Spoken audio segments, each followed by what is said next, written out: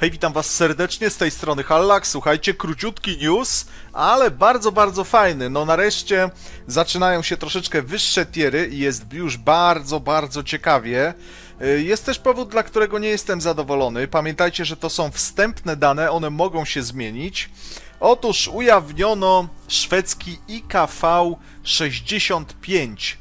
Yy, I ten oto pojazd, 65.2, yy, i ten oto pojazd jest TEDekiem szóstego poziomu, wygląda bardzo ciekawie moim zdaniem. I jego parametry również są rewelacyjne i zaraz będę psioczył, ale najpierw wam to pokażę. Otóż tak z tyłu, E, tak z góry i pamiętacie co mówiłem? Liczyłem na to, że tutaj będzie fajny pancerz. Naprawdę chciałbym tego typu pojazd wolny e, i opancerzony, ale jest zupełnie odwrotnie. Jest bardzo szybki i bardzo słabo opancerzony. Szkoda kurczę, bo e, brakuje mi czegoś takiego nowego, no wiecie, e, jak AT-15A. Coś takiego. A tu się zapowiadało? Niestety nie. Widzicie to? Taki skontowany kadłub, oczywiście gdyby był gruby, fajnie by odbijał, dodatkowo depresja, zaraz wam o tym powiem. Tutaj jest pancerz, no, kurczę, no i teraz co? 12 mm tutaj, a tu takie czerwone, czyli najgrubszy pancerz, uwaga, uwaga, 15 aż. Yy, No, nie ma co tutaj się rozwodzić nad tym. Niemniej jednak, mimo tego, pojazd jest całkiem ciekawy. Troszeczkę mnie martwi, że on jest taki, no, taki wielki można powiedzieć. Znaczy, wielki w sensie taka bryłka łatwa do trafienia, wydawałoby się. Zobaczymy, jakie będzie miał ukrywanie. E, tu są różne screeny, właśnie z tym czymś. No i tutaj właśnie te rzuty. A teraz dane, bo to jest najważniejsze. Otóż mamy 580 hapsa. E, waży to to 11 ton. No bardzo słaby pancerz, więc chyba ciężkie być nie może. Dodatkowo silnik mamy 215 e, koni, czyli 19,5 konia na tonę. Co to oznacza? To oznacza, że bardzo zrywny będzie ten pojazd. Maksymalna prędkość 60 na godzinę, do tyłu 20. Do tyłu jest ważne w tego typu TDK-ach, żeby szybko się mógł gdzieś tam yy, wycofać.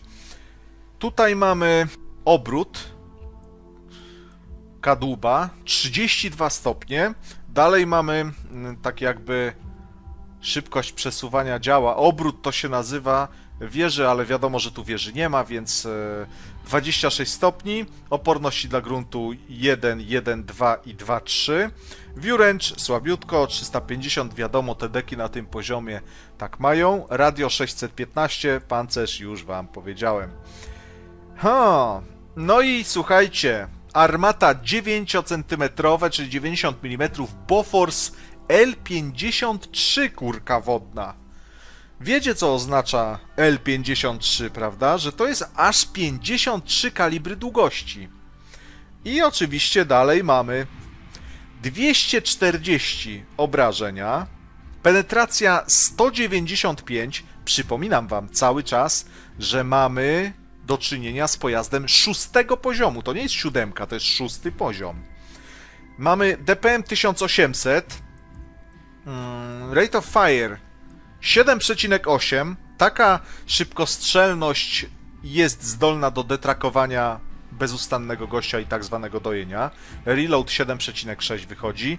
Uwaga, uwaga, celność 0,3. E, Tutaj jest przecinek 0,7, więc prawdopodobnie to jest na 100% załodze i to będzie 0,31 albo 0,32, ale i tak bardzo celne działo. Dodatkowo czas celowania 1,82 czyli pewnie będzie 1,9 albo 2 normalnie. Depresja działa 10 stopni, do tego jesteśmy przyzwyczajeni e, w szwedzkich pojazdach, tam depresja będzie bardzo duża.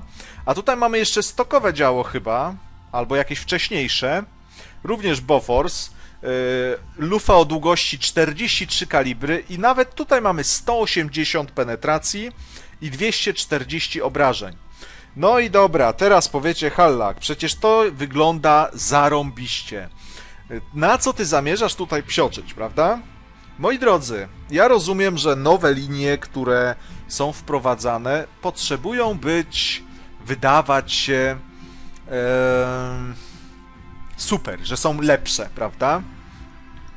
Ale przypominam wam, że na tym poziomie jest pojazd na przykład z mojej ulubionej nacji, czyli niemiecki, Jagdpanzer 4.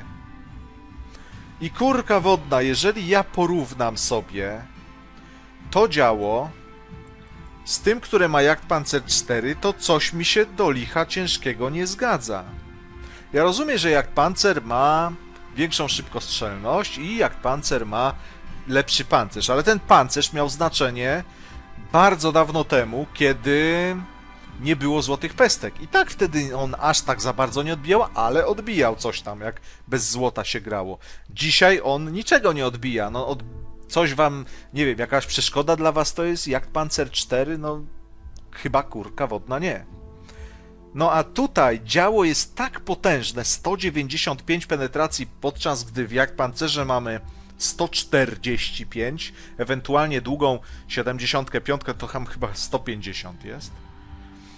Mamy damage 240, fajny, mamy rewelacyjną celność, no oczywiście, żeby nie było, ja się cieszę, bo tą linię zamierzam robić na pewno, więc to wydaje się być pierwszym takim naprawdę ciekawym pojazdem, prawda? Zarówno wygląd jest ciekawy, jak i te osiągi. Nie wiem, czy to zostanie zmienione, ale na dzień dzisiejszy do takiego snajpienia totalnego to będzie coś rewelacyjnego. Oczywiście, gdyby to było spamerskie działko, to ten pojazd prawdopodobnie, nie licząc ukrywania, byłby lepszy od siódemki premium, czyli 25. No ale jest tutaj działo inne. Tutaj jest działo, powiedzmy, z niższą szybkostrzelnością 7,8. No. Natomiast będzie to bardzo, bardzo szybkie. 19,55 konia, 60 km na godzinę. Naprawdę to będzie bardzo szybki pojazd. Dodatkowo może on opuścić działo o 10 stopni, czyli wiele, wiele miejscówek się otworzy przed nim. Myślałem, że z przodu będzie pancerz i on po prostu jeszcze dodatkowo dopakowany będzie tymi 10 stopniami opuszczania. Rozumiecie o co mi chodzi? No na szczęście pancerz jest, no wtedy to żeby OP był totalnie, no pancerz jest słabiutki. Ale mamy pierwszy w drzewku szwedzkim taki naprawdę interesujący, naprawdę innowacyjny yy, niszczyciel czołgów. Dobra, to tyle. Nagadałem się. Napiszcie, co o tym sądzicie. No, yy, te dane, tak jak mówię, mogą ulec zmianie. Natomiast, czy nie wydaje wam się, że na szóstym poziomie tego typu działo to jest delikatna przesada z takimi parametrami 195 penetracja. Na goldzie kurka wodna, zobaczcie na to. To działo na goldzie ma 270 penetracji na szóstym poziomie. Więc jeżeli komuś przyjdzie do głowy grać goldem, a dlaczego nie? No nie wiadomo jaka to jest amunicja, kurczę, może pewnie hity ale jeżeli komuś przyjdzie do głowy grać yy, właśnie Goldem, tym Tedekiem, no to nie ma takiego pojazdu, żeby to odbijał, prawda? Na poziomie... Nawet Japoniec będzie dziurawiony.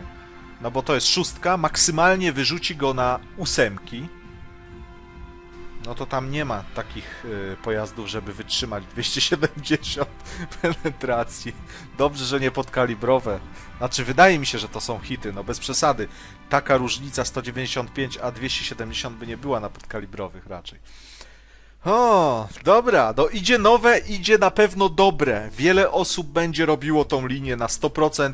Zobaczycie, jeżeli wyjdzie to, to będzie sensacja, można powiedzieć. To będzie sensacja. Do tej pory pojazdy, które były tutaj przedstawiane, no, były inne. Yy, wiadomo, że na wyższych poziomach wśród TDK-ów to będzie już totalna rewolucja, bo będzie zupełnie inne zawieszenie.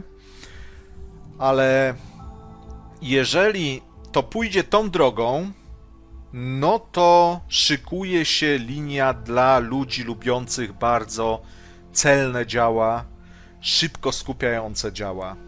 I to mi się podoba. Coś takiego by się przydało, to nawet może i przeskoczy Tortoisa, bo chyba y, przynajmniej część, pewnie duża część z Was wie, jak dobre działo ma Tortoise, prawda? Więc tak, taka prognoza moja jest, że być może tutaj będą jeszcze lepsze działa, kurcze, niż w Tortoisie. Kurka miało być krótko, a tu już 10 minut nagrywania. Moi drodzy, y, to jest koniec tego materiału. Pojazd wygląda bardzo ciekawie, zarówno jeżeli chodzi o dane, jak i o wygląd. Żegnam się z Wami. Udanego wieczoru Wam życzę. E, oczywiście dzisiaj poniedziałek nie ma streama, przypominam. Jeżeli ktoś tam by czekał, dzisiaj streama nie ma. Także dobrej nocki. Trzymajcie się.